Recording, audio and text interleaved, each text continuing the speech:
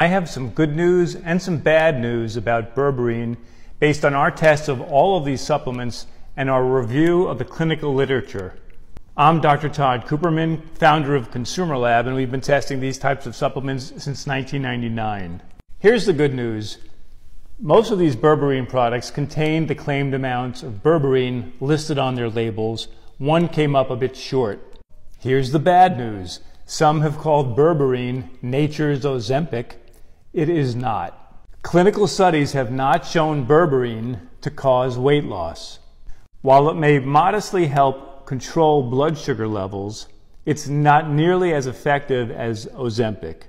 Ozempic can lower fasting blood sugar levels by about 30 milligrams per deciliter versus only about 4 milligrams per deciliter for berberine. More bad news is that we also tested Golden Seal supplements for berberine because it naturally contains it, yet three of these four products failed our tests two because of lead contamination, and one because it contained virtually no berberine. If you're interested in berberine, be aware that not all berberine supplements are the same. Most are made with berberine hydrochloride, or HCl.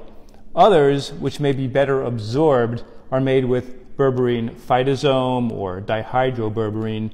These forms may be 5 to 10 times as good at raising blood levels of berberine. However, they also tend to cost a lot more, up to nine times as much as berberine hydrochloride.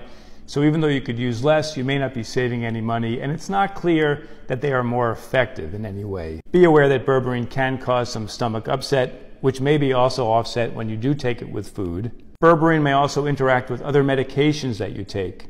Berberine also should not be taken by women who are pregnant or lactating, and be aware that some people can also develop a rash with berberine. If you are one of more than 90,000 Consumer Lab members who support our research, you can go online right now and see our full report with more details and our top picks among berberine as well as golden seal supplements.